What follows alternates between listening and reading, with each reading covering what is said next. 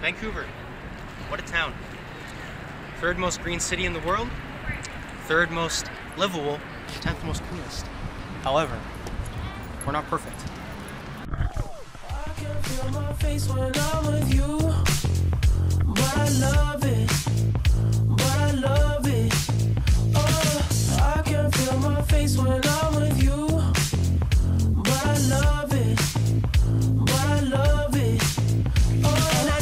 she'll be the death of me. At least we'll both be numb.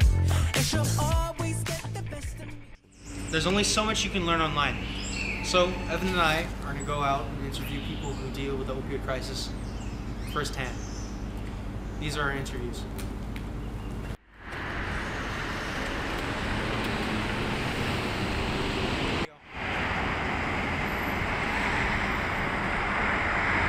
She'll be the death of me, at least we'll both be numb. And she'll always get the best of me, the worst is yet to come. But at least we'll both be beautiful and stay forever young. This I know, this I know. She told me. here now, but it does get very busy. And we're open 12 hours a day, so ideally we'd like to be open longer. It's all about funding. Funding's really tough to get in the crisis, right? So it's all about the dollars and cents at the end of the day. It took us 19 months to get this trailer. We were in a tent. If you'd have came three weeks ago, you'd have been going down the alley there and behind the hospital to the tent. That's where we were. know, eh, this I know. She told me don't worry. Kevin King. Yes. Okay. And then the Iceman is the Iceman, my nickname, also a handle. Yeah the, the mouse is the guy the, the Yeah, mouse, basically anyone that comes over to our injection site or comes over here to access the MySafe, they go by a handle or a nickname. So, um, some basic questions. Where do opioids come from? Where do they Well, most of the fentanyl is coming from China. That's uh, where most of it is coming from. Well, opiates actually originated in Asia. So it's uh, illegally imported from Yes, it is uh, legally brought in. I see. Through the ports. through the ports. Yeah. Oh, Uh, that's where most of it, they actually um, uh, stop shipments from the ports. You can order it online too, Yeah. You can yeah, order fentanyl You online. can actually order it online. oh wow, through Yeah. the dark web. Mm. dark web.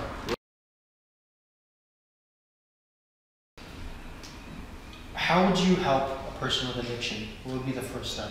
Well, the first the first step we actually in getting someone any help is first of all finding out what brought them to their addiction in the first place, how much they're using now, and how much they really want to get off it if they do.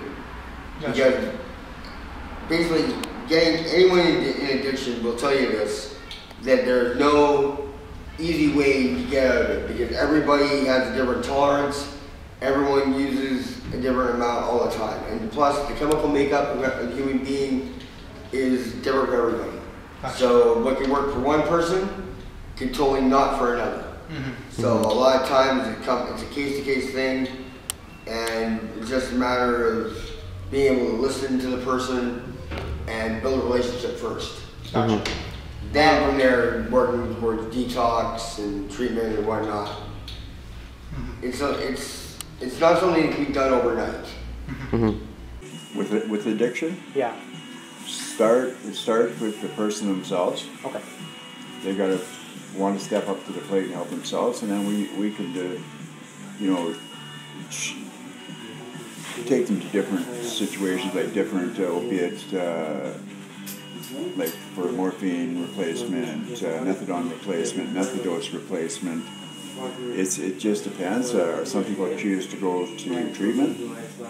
Some people choose to go to recovery houses.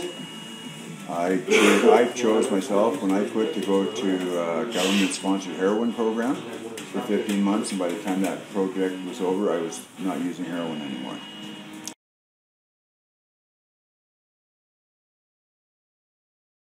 Is there anything else you would like to say or any final thoughts? No, it's all good. I'm glad you guys came. Got to see our little spot, and you can see that everybody's normal. All right. Just everybody's using dope, and uh, everybody's a human being, right? Everything is human being. Yeah, everybody's a human being. At the end of the day, everybody has a mother, father, sister, brother, uncle, cousin. You know, so we're all the same. Just addiction is a tough gig, and it's a really tough gig to get out of once you're in. All right. The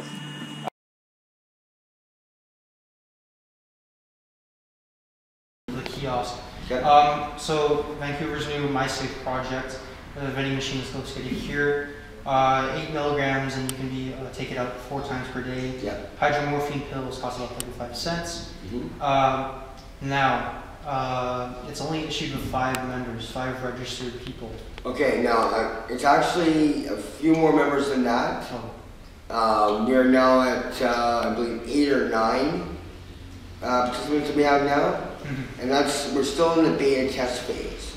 So we're still trying to work out like uh, the palm scan, getting it uh, the right right level on it, because everyone's palm code is different. Um, a lot, sometimes the palm reader won't scan properly if the hand is dirty at all because some people are binners, unfortunately. And what it works off is a biometric palm reader, right? So it basically Read your gets your read your palm inside and out to get your, your the identity of the person. So no one else can get your pills. She'll be the death of me, at least we'll both be numb. And she'll always get the best of me, the worst is yet to come. But at least